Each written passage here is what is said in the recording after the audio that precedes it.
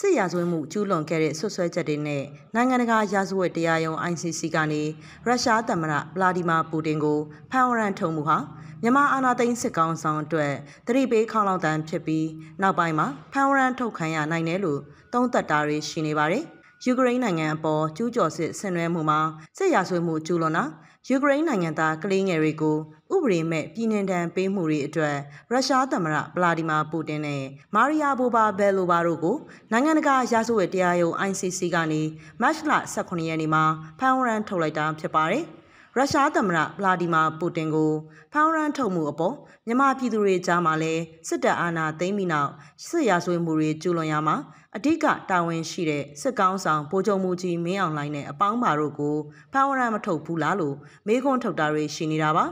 နိုင်ငံရေးလီလာတုံးသက်သူဒေါက်တာဆိုင်ကြည်စင်ဆိုးကတော့စစ်ရာဇဝတ်မှုကျူးလွန်မှုတွေအတွက်စစ်ကောင်းဆောင်ကိုဖောင်းရန်ထုတ်လာနိုင်ပေမဲ့လက်တလောအခြေအနေမှာတော့ဖြစ်လာဖို့မရှိသေးဘူးလို့တုံးသက်တာပါ။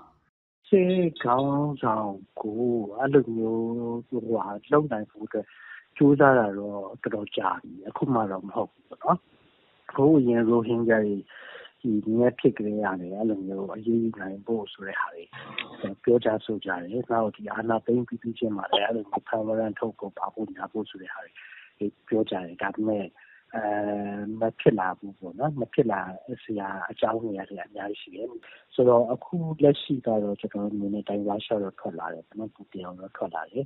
မြန်မာနိုင်ငံကိုအဲ့လိုမျိုးဖြစ်လာနိုင်လားဆိုတော့အာဖြစ်တော့ဖြစ်နိုင်တယ်ဒါပေမဲ့အဲ့လောက်မြင်မြင်ဆန်ဆန်ဖြစ်မှာမဖြစ်ဘူးကတော့ပြောရခဲ့လိမ့်မယ် ဒါအပြင်စစ်ကောင်းဆောင်ကိုစစ်ရာဇဝတ်မှုတွေအတွက်ဖမ်းဝရမ်းထုတ်နိုင်တဲ့အနေအထားတွေရှိပေမဲ့ထိရောက်တဲ့တိုင်ကြားမှုမျိုးလိုအပ်သလိုဖမ်းဝရမ်းထုတ်လိုက်ပါကစစ်အုပ်စုအနေနဲ့တခြားနိုင်ငံတွေနဲ့ဆက်ဆံရမှာပုံမခက်ခဲလာနိုင်တယ်လို့သူကဆိုပါတယ်။ဝါရင်နိုင်ငံရေးသမားဥဖေတန်းကလည်းရုရှားသမ္မတပူတင်ကိုနိုင်ငံတကာရာဇဝတ်တရားရုံး ICC ကနေဖမ်းဝရမ်းထုတ်လိုက်တာဟာစစ်ရာဇဝတ်မှုတွေကျူးလွန်နေတဲ့စစ်ကောင်ဆောင်တွေအတွက်အချက်ပေးခေါင်းလောင်တန်ဖြစ်တယ်လို့ပြောပါတယ်။ ICC ကတကယ်အဲ ဒီစစ်ရာဇဝတ်ကောင်တွေကို အရေးယူနိုင်တဲ့ တခုတည်းသော အဖွဲ့အစည်းဖြစ်တယ်ပေါ့။ဒါကြောင့်ဒီ ICC က အရေးယူလာပြီဆိုရင်တော့ဒါသူက ဖမ်းဝရမ်းထုတ်တော့မယ်ဆိုရင် သူ့အနေနဲ့ ရာဇဝတ်ကောင်ဖြစ်သွားပြီပေါ့။နိုင်ငံတကာရဲ့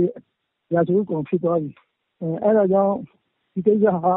အကြမ်းဖက်အဖွဲ့အစည်းဆန်ဆန် လုပ်နေတဲ့ ပုဂ္ဂိုလ်တွေအတွက်တော့ အထူးသတိပြုရမယ့်၊ဂရုပြုရမယ့်အချက်ဖြစ်တယ်။တကယ့်ကိုလည်း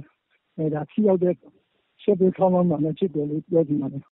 ဒါအပြင်စစ်ကောင်စီရဲ့စစ်ရာဇဝတ်မှုကျူးလွန်တဲ့အစိုးလိုက်အပြုံလိုက်တပ်ဖြတ်တာတွေ တပ်ဖြတ်ခံရသူတွေထဲမှာကလေးတငယ်ပါဝင်တာတွေလူအခွင့်အရေးချိုးဖောက်တာတွေအပြင်တခြားစစ်ရာဇဝတ်မှုတွေကိုတပ်ဆိုင်ရာအဖွဲ့အစည်းတွေတိုင်းရင်းသားလက်နက်ကိုင် EAO တွေကလည်းမှတ်တမ်းတင်ထားရှိထားပြီးတပ်သိခိုင်မာမှုရှိနေကြကြောင်းစစ်ကောင်းဆောင်တွေအတွက်ထိတ်လန့်စရာဖြစ်တယ်လို့ထောက်ပြတာပါဥပဒေရေးလေးလာသုံးသပ်သူတူကတော့မြန်မာနိုင်ငံနဲ့ရုရှားနိုင်ငံအပေါ်ကုလသမဂ္ဂရဲ့ကင်တွယ်ဆောင်ရွက်မှုတွေဟာကွာဟချက်တွေရှိနေတာကြောင့်မြန်မာအာဏာသိမ်းစစ်ကောင်ဆောင်ကိုချက်ချင်းဖောင်းရန်ထုတ်နိုင်တဲ့အထိမဖြစ်လာနိုင်သေးဘူးလို့သုံးသပ်ပါတယ်။လက်တော်မှာတော့အချင်းရှိ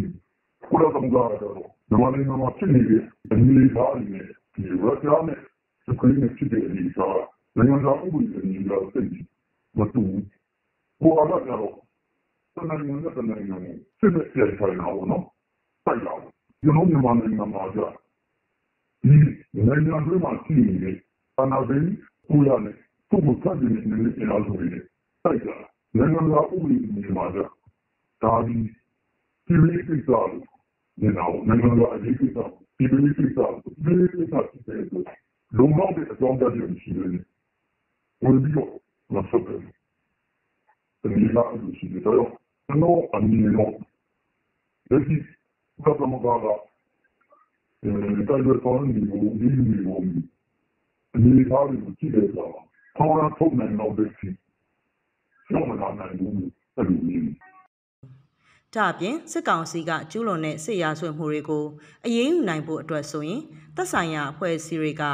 ICC လိုမျိုးထိရောက်တဲ့အဖွဲ့အစည်းတွေကိုဓာတ်ရိုက်ချင်းကပ်ဖို့လိုအပ်ပြီးဓာတ်ရိုက်ချင်းကပ်နိုင်မှသာရလဒ်ကောင်းတွေထွက်ပေါ်လာမှာဖြစ်တယ်လို့ထောက်ပြတာပါနိုင်ငံတကာရာဇဝတ်တရားရုံး ICC ဟာ